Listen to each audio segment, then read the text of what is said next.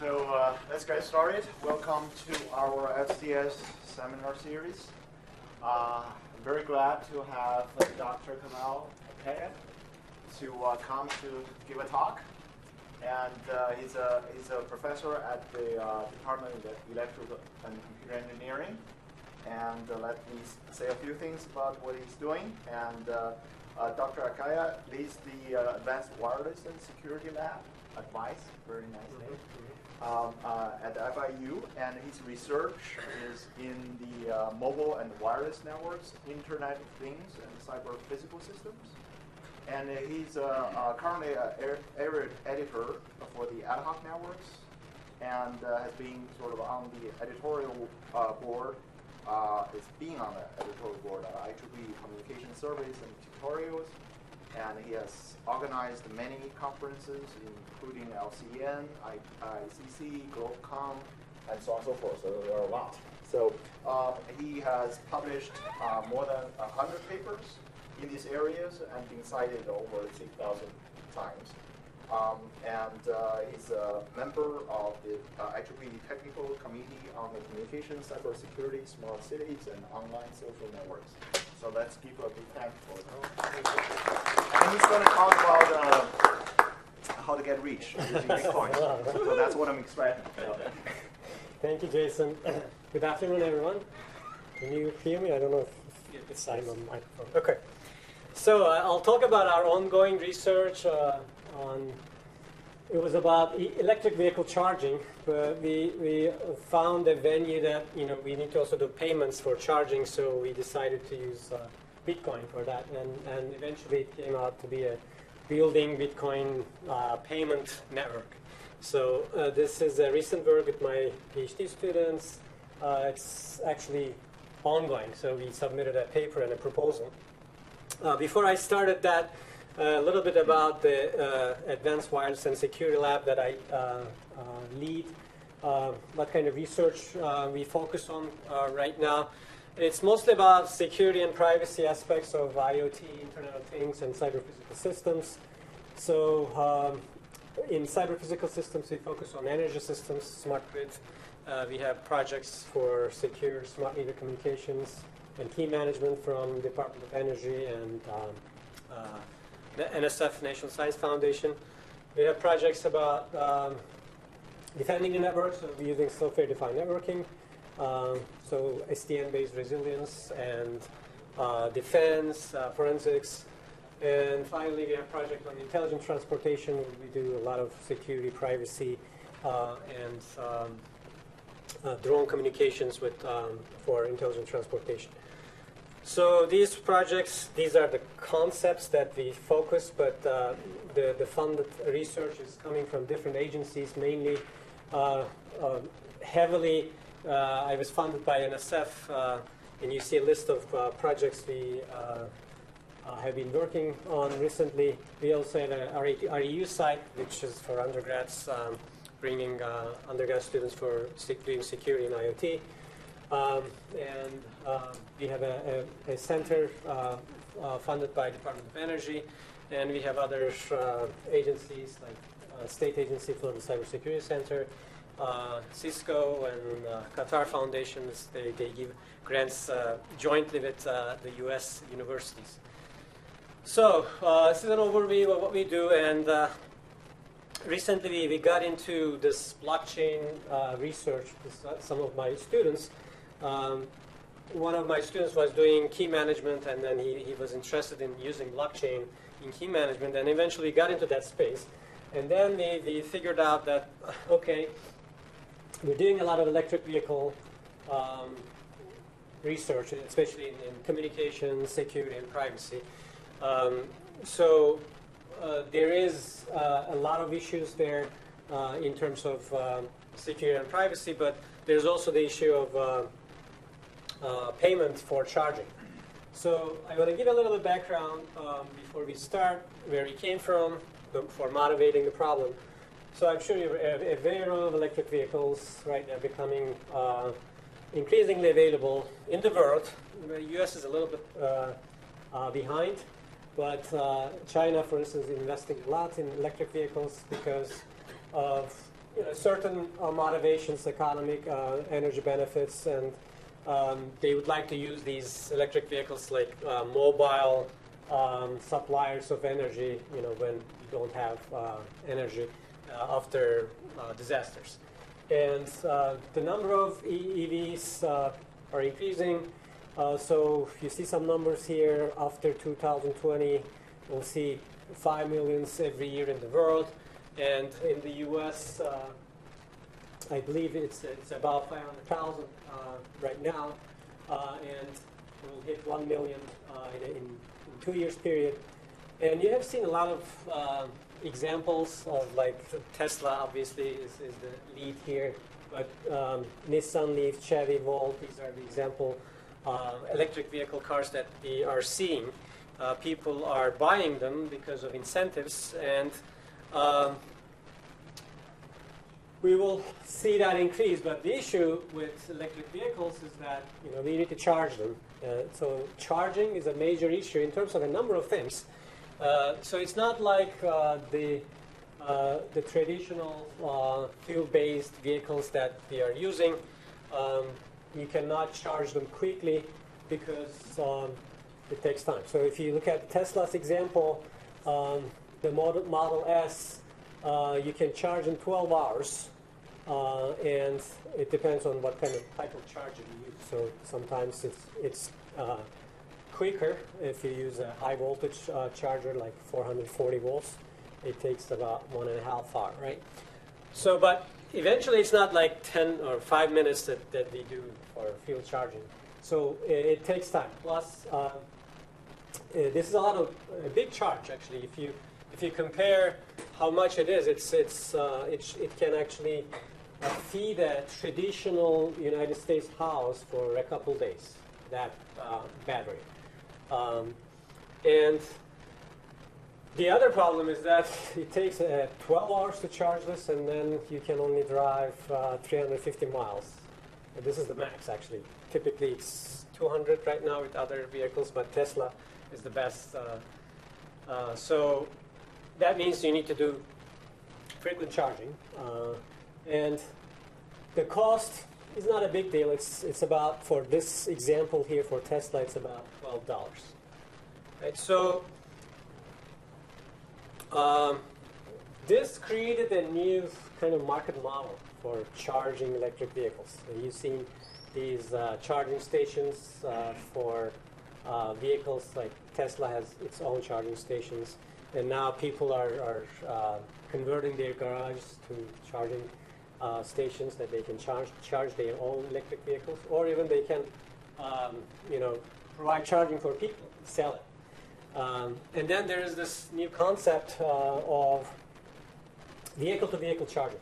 So it's like peer-to-peer network. So uh, if uh, you are stranded, then you can uh, call another vehicle, and there's a there's a device that can do um, charge transfer from a, a, vehicle to the other, um, and you can charge your car that way. So that creates this option of, you know, if you have that um, uh, charger uh, in your trunk, then you can uh, use it to uh, provide charge or sell charge to people. Like, let's say I, I come here, I don't have enough charge, I, I am at work, and I, I, I use the app. There's an app to match these people, and they will come to the parking lot, charge your car, and you know you pay it uh, from your phone, right? And you can additionally pay a service fee, right? So you don't need to wait, you don't need to deal with scheduling, etc. So that creates this this new model, market model for charging, and um, you know you'll have these different options. The the issue then comes to, from our perspective, is the price. So when you have these charging stations and you charge frequently, and you communicate your scheduling information with those charging stations, that creates a privacy issue because they will be able to track you. So your location can be tracked, um, and from there they can find out your habits, etc. So it's classical privacy uh, problem. That has been studied a lot. I mean, there are lots of papers on this. Um, so initially I was in that, in that domain. trying to uh, write papers on how to provide privacy-preserving algorithms for uh, hiding your your uh, uh, location and using sophisticated techniques like homomorphic encryption, differential privacy, etc. So a lot of people are there, and we actually wrote proposals. Uh, there was a proposal that we submitted. They, they liked the idea, and uh, one of the reviewers said, "Well, um, you know, you're doing this sophisticated algorithms, but how about the payment? So you still do the payment through credit card, then you know, doesn't make sense because you're still exposing your location. So it will not be privacy aware." Uh, so I looked at that domain and found out that there is a, another um, a domain of researchers doing like how to provide privacy for payment systems. And so eventually we, we thought like, okay, can we use these cryptocurrencies because they, they're kind of providing uh, um, privacy, right? So can we, can we use cryptocurrencies for, for paying rather than the credit cards? Um, so that's how we got into this domain. And then we said, okay, we, we know Bitcoin, and Bitcoin is widely used. So um, we, we started considering Bitcoin for paying uh, for this type of charging, right? But the issue is, you know, if you're familiar with the Bitcoin, uh, it uh, has a transaction fee. It's a certain transaction fee. So whatever the the transaction amount is, you need to pay that transaction fee. And it's, uh, it depends, it changed from, I don't know the exact amount, but probably 15 to $20 that you need to pay. So regardless of the transaction amount, you are sending $1 million or $1, doesn't matter, you, you still need to pay because there are miners uh, who, who are going to uh, do proof of work for your transaction and uh, you need to pay right? Uh, so that's the other problem is that they need to validate your transaction, and you know for Bitcoin, uh, this is notoriously high. That it takes a lot of time, and people are making money out of this validation. They are miners, right? I'm, I'm sure you have heard about miners. Uh, so it takes a lot of time to validate your transaction, so you cannot really use it here. You cannot wait for your transaction to be validated. So those are those are the two um, uh, problems that that are there for, for if, if you'd like to use Bitcoin for electric vehicle charging, uh, which takes like 10 $20 each time you want to pay another 10 $20. So how long is the time when you say you can't wait for a long time? Uh, how long is the time for the transaction? Uh, yeah, you don't know. But it depends. Is there, is there I mean, you, you couple, can be couple of hours. You can wait an hour with an probability. There is some certain probability that the transaction is accepted, but uh, there is also probability that a week later the transaction is uh, Is this because of the scale? I, I mean, I, am trying to say. So it's because of, of the proof of work. Yeah. So you need to. Uh, there, there is a hash function that you need to find yeah, out, right. and you need to try it, and it takes a lot of time. But that's a, that's because of the uh, the computation. Yes, there, computation, right? Computation. They have these miners in, in China. Right, yeah. right. So they make a lot what of money. What I meant is you need you need the time to charge anyway, so it's going to take, as you say, going to take 12 hours. Is, is that? I'm just trying to. Well, I mean, if it's like it takes two hours, there are there are examples of like two hours charging time, for, waiting for time. The, yeah. So you will not be validated in two hours probably. So it will take more time. So then the question is, okay, can we uh, address these issues? So we were thinking about this, and then we found that there is a mechanism of Bitcoin, which is called off-chain, that uh, allows you to do transactions without getting into uh, this uh, proof of work thing. It's, I, am going to talk about that, but it's, it's mainly a, like an escrow account, so you can temporarily uh, do transactions during the day, and at the end of the day, you can wrap up everything and, and do just one transaction uh, that will be validated um, by Bitcoin. So we thought, okay, if we use this concept, maybe we can address this issue, and uh, that will also uh, address the, the, the transfer fee because now you will have uh, interactions, uh, transactions that you don't need to wait for validation, and then it will not take much time, so- it will also address that uh, validation time issue. And also, it will address the privacy issue because it's Bitcoin, so nobody knows who, who are the users, right? That they there is anonymity. So it will bring us these three benefits. If we can build a charge payment network among these charge stations. So that was the problem that uh, we tackled. And the solution would be based on this off-chain mechanism. And uh, here's in more details what off-chain is because this, this is very important to understand the problem. So um, off-chain is um, something like an escrow account. So let's say there's Alice and Bob, and they'd like to do transactions, right? Um, and what they do is they put money to an escrow account. So in this figure, you see this escrow A and B. Uh, so I put they put five dollars, let's say, right? So or Alice puts five dollars in that um, escrow account, and uh, during the day, Alice uh, does transactions with Bob. So Alice sends, for instance, here one Bitcoin. So now Alice, uh, it, was five, right, initially. Now it, uh, it's four, and Bob receives one. And then another transaction, two. Um, so Bob uh, receives two, it, it increases to three. And finally, another transaction uh, with one Bitcoin. So Bob is, is now increased to four, Alice is decreased to one. So eventually, the situation is Alice has one, Bob four, right?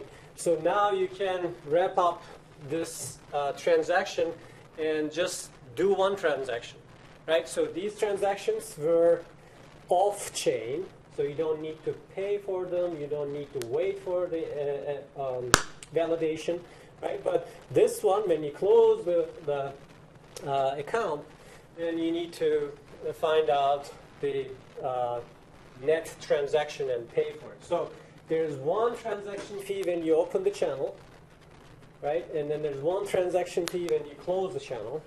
The rest you can do a lot of transactions free. Right? So this is our, our motivation. We said, okay, if as a vehicle owner you open a channel with a charging station and you put some money to escrow account, let's say monthly, let's say, you know, you you say, I'm going to spend five hundred dollars for charging this month. So you put that amount there and you pay the transaction fee. And then during the month you spend from that account. Right? So you don't need to pay anything. And then at the end of the month, if your actual spending is four hundred dollars, they will give you a hundred back and close the account. Right? So this way you're just paying twice uh, the Bitcoin fee, and you don't need to wait. You're just waiting two times for validation. Right, so this uh, concept may apply to our case because there's a lot of transactions, frequent transactions, although the transaction amount is small, but you know you charge multiple times, right? Um, so we decided to apply this idea to build that network that I was um, describing. So uh, eventually, um, I'll talk about attack model, but eventually, what it, it came out to be an interesting problem of network topology formation. So it's not security and privacy, maybe it's Jason's uh, expertise. You create a topology uh, of, uh, it's a network of charging stations, uh, establishing channels between them, and uh, you try to meet certain constraints. Right? So, um, if you look at this example here, we have a number of charging stations in, let's say, in South Florida, right? Question? Yes. Actually, I have a question on the previous one. Okay. And the, and the two maybe Yeah, I have also, yeah. Uh, how is this process different from the credit card? Like you effectively open some kind of account that the escrow uh, will maintain your account. So where is the privacy coming? I think it's it's this mechanism is is, is for Bitcoin, right? So it's not part of the, the banking system. No, okay, so just different party that can track not the bank, not the Visa, but the, the escrow. This charging station will know uh, which account was used. I mean, it doesn't know who the person is, but the, but it will know that this account was charged from this station, that other station, and so it can. But it, it, you know you don't know the identity, right? That's a great uh, uh. So there, the the identity is anonymous, and I'll, I'll show at the end that you know the payments that you made is not through the charging station that you're physically charging.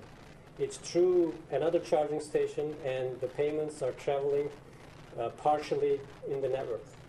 So it's really hard to track the payments. That's that's the beauty of uh, the the topology that we create. No, I think it's irre- irrelevant to the topology. Uh, payment in Bitcoin is associated with public key, and the whole information is public. So you can always track uh, how many uh, transactions associated with the public. So anybody can figure out that.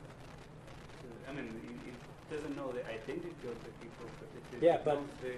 I mean, the issue is the identity, right? So if you if you track certain identities, then you can find out who that person is, but you know, not the actual identity. But what I'm trying to say is that if if you uh, make this in a way that you know you pay uh, to different uh, station and then the payments are divided into different uh, payments uh, charging stations, then it will be difficult uh, to track um, the, the that identity. So I don't know. Uh, let's say I don't, I'm not using my name, right? I'm using my identity X. So you can find out what payments I, I do, but those payments, what I'm saying is, is traveling through different channels. So it's really di- difficult to, to track um, those payments and find out that okay, these are the payments that this particular X did.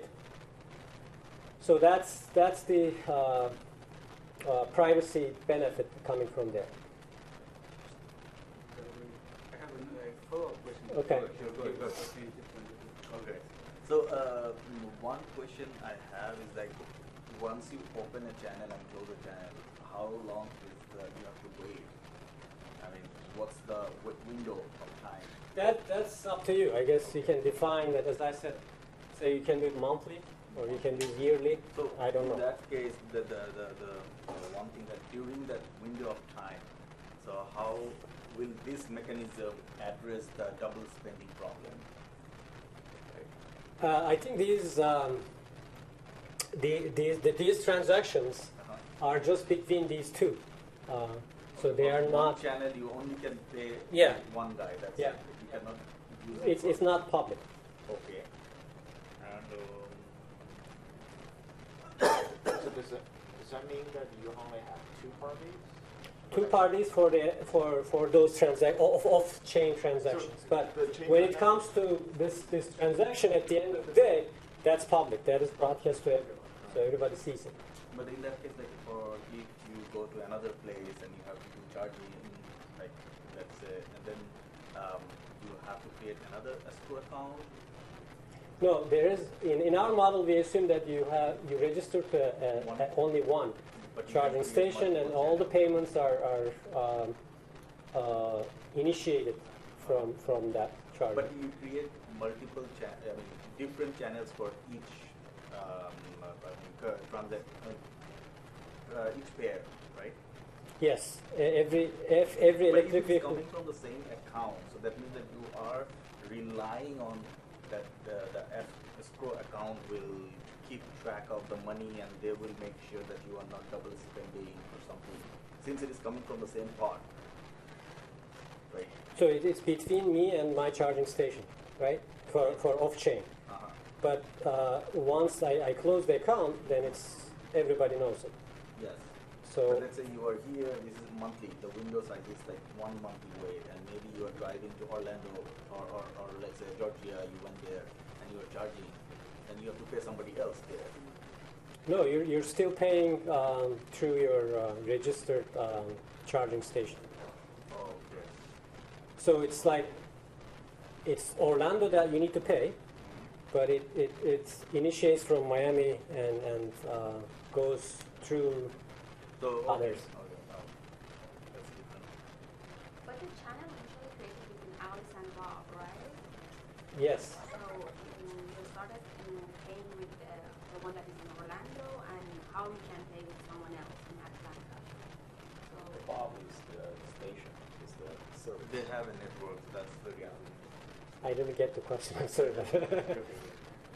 So is she asking is the only two persons here, Alice and Bob, Mhm. go to another place, how, how that work out, is that? yes. Yeah. but there's a network. So uh, you're, you're, you're, you're tapping into network uh, from one location. You make your payment to a charging station, but it's, there's a network that it's, it's, it's going to uh, different uh, destinations that you are physically charging. And tracking in that network is not possible, like? Yeah, yeah, yeah, because your, your identity is, is um, not known, and the payments, as uh, I was mentioning, Alex's question, that um, the payments are divided. So you're not using one channel, let's say you, you're going to pay $100. You're paying uh, $30 here, $30 there, 30, you know, $40 here, so they're, they're traveling through different routes. So, maybe a follow-up question on that. So who do you want not to know your uh, location? Like, is that the, I mean, or in other sense, like, like who is your adversary? Is that the That's here, right? What is it? Uh, uh, yeah. So we, we uh, the attack model is a passive adversary who tries to uh, undermine your user by looking at um, the payment traffic or joining the network as a charging station or compromising some fraction of nodes. Um, this is our, our uh, attack model. We are not You're, you're trusting the uh, charging stations. So if they know your location, that doesn't, that yeah, a charging station that you're, you're registered with uh, will know your location. Yeah, Yeah. that guy, but when, Yeah. like, that you, you are paying, uh, paying someone in Georgia, so and it initiates from Miami and then it goes through that network. So even Georgia guy will know that who, where this money is coming from. It's from, coming from the, uh, the He will know, but he will not know who, whose money is this, right? Okay. Yeah. Okay. So you had a lot of questions that Yeah. I didn't get into the model yet. Uh, so this was a, the example that I was trying to say that. Uh, so here, so this guy, for instance, electric vehicle one, uh, registers to station A here, right? Uh, and she declares that she plans to use, um, let's say, F and C, like this one or uh, that one here. Uh, and if she charges through the, those um, uh, charging stations, then um, the, the payment should be um, going through this uh, um station A, which uh, she was uh, registered. So um, we assume that everybody will be registered to a charging station, uh, and there may be a lot of assumptions here in terms of you know uh, which charging stations you are using, but we, we made those assumptions in the experiment. Uh, it's a simple setup for now because this is an ongoing uh, study. So eventually, um, the problem is this: you want to establish a network. We want to we want to use optimization, right? So it turned out to be a mixed integer programming, uh, which is similar to multi-commodity flow problem. And the issue is, I mean, uh, conceptually, you want to create a, a very distributed network that um, that will have links that are distributed to the nodes uh, evenly, and the flows will not be just uh, using certain links. So we want to evenly distribute the flows as well, so that in this case it will it will be fair to everybody. Like, let's say there are two charging stations and all the payments are pay, uh, passing through those charging stations. Then it's not fair, because why does that charging station invest in creating channels with others? Because you need to pay for it, right? So everybody should uh, contribute equally so that we can have a fair uh, distribution of the costs because there's a cost for establishing uh, links, right? Um, and then we don't want to create a lot of links to everybody because opening a link is there's a fee for it. So we want to minimize the number of links as well. And as I said, we don't want you know uneven distribution. So there's a fairness um, concept here that you know some nodes should not bear most of the load. We want to do an even distribution. So we define that uh, uh, a cost function uh, that includes these three factors. One is the uh, the unit uh, flowing through the network. Uh, that's the unit flow cost. That's the, the, the transactions, C. And then the channel establishment cost. So when you create a channel, a link, there's a fee, Bitcoin fee for it. And that is represented by uh, fixed, that's a fixed fee. So we use uh, CF. And then there is this unfairness cost that I was mentioning, which is uh, gamma, that you know we want to keep it evenly distributed. So eventually, the model is trying to minimize a function that includes these three parameters. And obviously, there are uh, constraints that are related to flow uh, uh, equations. So the flow is, for instance, uh, it's a transaction that you know you pay to a charging station, and then from charging station, it is flowing through other charging stations, right? So those those are the flows, and uh, there's a lot of notation. And I don't want to get into details of, of this, but um, mainly uh, there is SI, which is the total amount supplied by a user to a station J. So a user is paying certain amount of money to a, station for charging. dj, d sub j is the total demand of station J from all users who place pays an amount to station J. So uh, the station will be uh, receiving uh, from different users uh, the, these uh, um, payments. That is represented by DJ. And uh, what I'm trying to describe is this actually, the flow conservation is that, you know, when, when there are flows coming to this charging station, this, and this, incoming flows, outgoing flows, you need to have um, them uh, equal. So uh, there are various uh, uh, um, constraints in the model that, that ensure these uh, things that you see here. For instance, for node A, sum of all incoming payments, uh, X flow here, should be equal to sum of all outgoing flows, that's called Y flow. So these are all included. So eventually, uh, we solve this by using a Gurobi optimizer. Uh, there's a solver from Gurobi, Python based. Uh, and there are lots of assumptions that we made. So these are the things that you know we can change. But we assume 10 stations and uh, 80 customers.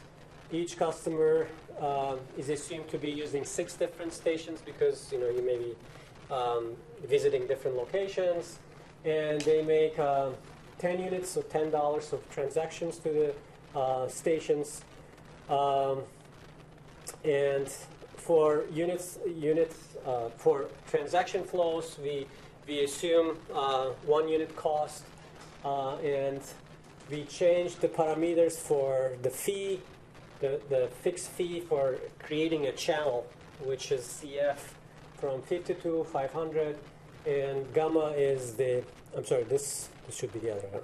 So CF is from 20 to 80, and gamma is the fairness um, parameter. So if you increase gamma, you are very sensitive to fairness. So you want almost equal distribution.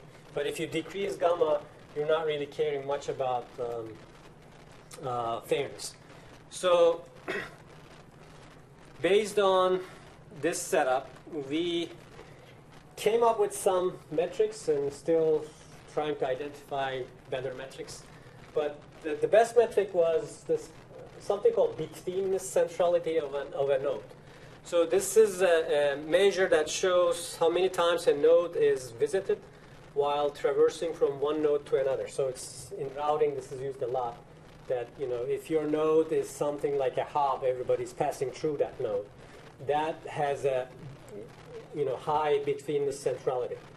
So here we use this because we don't want nodes to have um, very diverse betweenness centrality measures at the end of uh, the day because if that's the case then you have a lot of no, a lot of hub nodes that you know collects traffic to to um, to themselves. And this is not fair because we don't want a station to um, bear most of the traffic. So we want equal distribution of betweenness centrality uh, for each node total capacity of the network is the uh, total uh, investment amount in the escrow accounts. That's the capacity. So you put some money initially. When you create a link, you put some money, and that means you can use up to that amount on that link. Right. So if, if you say this is a $200 link, then you can um, you can spend you can do transactions up to 200. You cannot exceed that. Uh, and the number of edges is, is, the number of channels you create. So uh, if you are creating a lot of channels, obviously that is costly because each channel has a fee. Right? So that's why it's, it's a, an important metric too. And then we decided, okay, how can we compare this with uh, um, other approaches, like what are the benchmarks? So two benchmarks we, we uh, decided. One is a, a, topology called hub and spoke. So you're familiar with uh, networking people are familiar with this type of uh, topology that you know, there are certain hops, like in this case, uh, the, the, these two, seven and nine, are, are uh, connected to most of the uh, nodes, and the traffic will pass through those nodes, right? So it's it's a hub and spoke um, topology. So they bear mo most of the flow. And you can imagine that the flow between 7 and 9 will be the highest, right? Because it's like the backbone of, uh, of the network. But if you consider random, it's a, it's a connected, uh, fully connected, uh, so everybody's connected to everybody, but it's random, so it's not designed based on a model. But you used a, a certain degree, right? In this case, we use three connected, but it can be any random. Uh, we're, we're still generating different um, different topologies based on the number of nodes. So the number of nodes that we tried was 10. That's why we were limited. Um, and the reason I will tell you, uh, the optimizer only uh, works for 10 nodes. so it takes it, it takes forever to. We tried 15 nodes, and it was like two weeks. It didn't finish. So this, these are the initial results that uh, seem promising. So this is betweenness centrality and comparing hub and spoke, random, and our approach. In our approach, we, we tried different gamma parameters. So those gamma parameters are, are measuring the uh, uh, unfairness. Right? So if you look at it, the hub and spoke, uh, these are node, nodes, node numbers that are um, sorted based on their betweenness uh, centrality score. So this, this guy has the highest betweenness centrality score for hub and spoke. Uh, so it's, it's uh, decreasing, right? So when you look at it, in hub and spoke, there are two nodes, as you may guess, in that figure is a 7 and 9, with the highest betweenness uh, centrality uh, uh, measure, right? The rest are pretty much flat, which is nice, but we don't want this situation. Because in this case, these two charging stations will do most of the investment, and that's not fair, and they will not accept this, right? If you look at the randomness, it's, it's pretty good uh, in terms of the balance. So you see, there are still a number of nodes that are uh, a little higher, but uh, still is not as bad as uh, uh, spot. But when you look at our approach, it's pretty good, especially with uh, this red one here. So very close to each other, and same for uh, the blue one here, right? light blue. Right, so they are almost equal, means everybody has the same or similar defeat centrality figure. Say something about that gamma again? What's the fifty and the six hundred fifty? Yeah, so the gamma is the, the unfairness uh, parameter. So if you increase gamma, you're very sensitive about unfairness. So uh, sensitive is like you want everybody almost equal load, right? So that's why when you look at this one, the light blue one, it's almost equal, right? And that's the reason is that it's the highest gamma.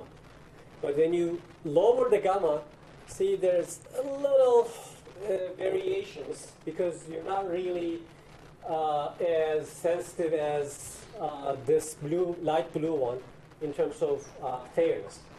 So you, you can you can tolerate some of the nodes being a little high load, some of them low load. So, So so I, I probably missed something here. So is the gamma used to uh, form the network, or is the gamma used for selecting the the, the nodes? it, it influences the network formation. So if you pick gamma highest, uh, like in this case six, 650, that means you want a network perfectly, you know, equal in terms of loads. Yeah. So the, the solver will take that into account and will try different options to, to find out the best When you say the solver, you mean op- optimizer. Yeah. The, the, the optimizer, is there a, a constraint or is it, I didn't see the gamma there?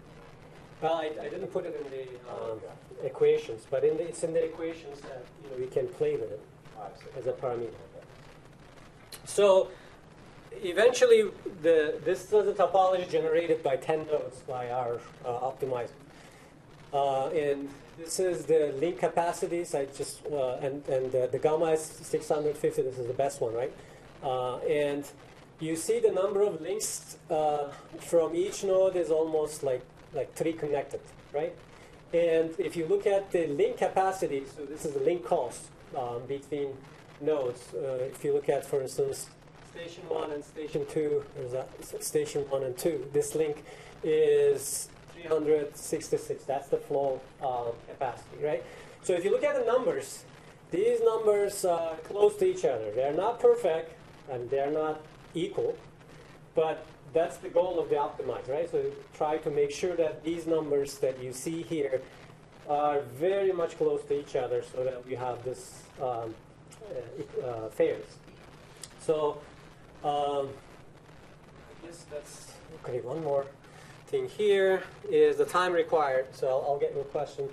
Uh, so, so the time it takes to, to get the results, it depends on this uh, interestingly um, uh, the fee, fixed uh, fee that we try from 20 to 100. So uh, for 20, you can see it takes 10 to the power 5, like about 30 hours to finish an experiment with 10 nodes.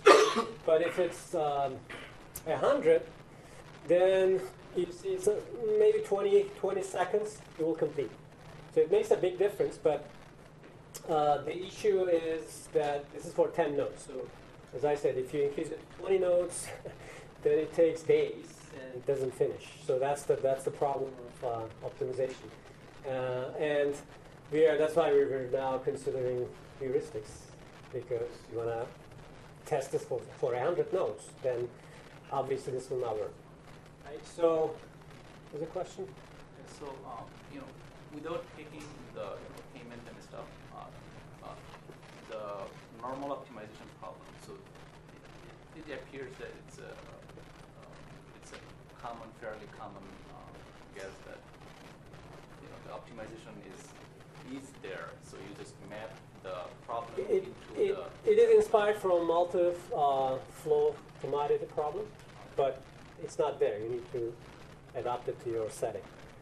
But this is how operation researchers. No, no, I'm, I'm, I'm, I'm just saying that, you know, you, definitely this is uh, fascinating that you found know, one very suitable Yeah. application and it's, it is definitely, if Actually, there's a- today, there's gonna be problem. Yeah, there's a good- uh, good piece of work missing there.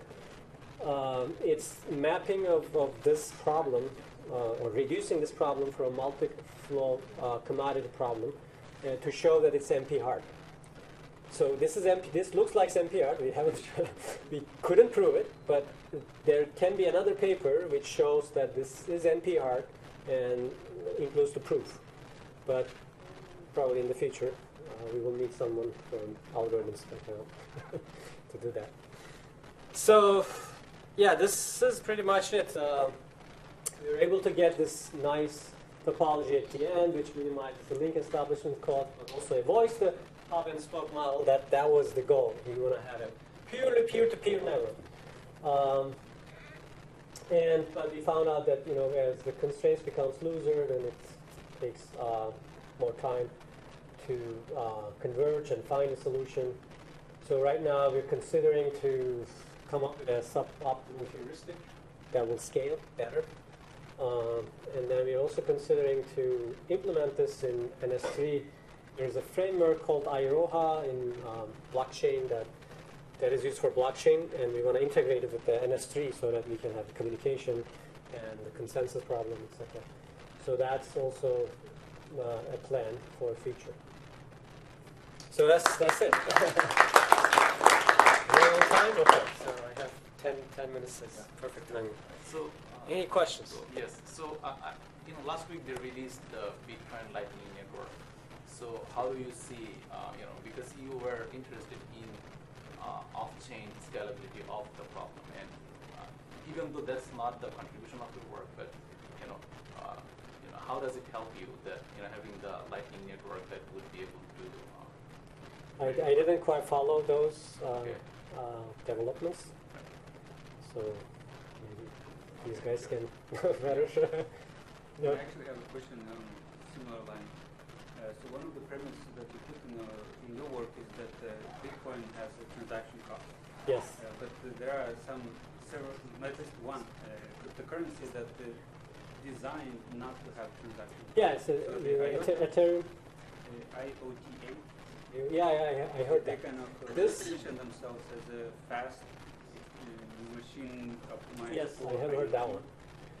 This, the one that we, the reason we chose chose this one was like it's very widely available. So we thought like you know this everybody's using this, so it will be convenient to use uh, for charging purposes. So that's where we came from. But obviously, you know that can be another venue. But the issue is that if nobody's using it, uh, it's a good solution, but it's not prevalent. Yeah. IOTA has a broken hash function. Yeah, so can be considered, yes. But, but So, is it possible to obfuscate the communication between two nodes? For it's example, possible what? Obfuscate the communication so that you're saying like it's possible to track the public key between some her and a charging station. And each time it's gonna be the same. Like the transaction will be different uh, 10 or 20 transactions, so it's gonna be the same. So can you generate the public key on the fly, like randomly time for some communications? Generate public key on the fly, and what do you mean? I mean, what's So what's the purpose idea of? is like trying to obfuscate the public key so that it's, not possible to map the communication within a pair. So even if don't know the identity of the public key, so that's perfectly fine. But can you try to also like randomize the public key? Uh, that's I don't know. That's a different issue, I guess. Yeah, these these public keys are assigned once, right? So it's not like symmetric keys that you can change each time. So not sure if there is such a solution.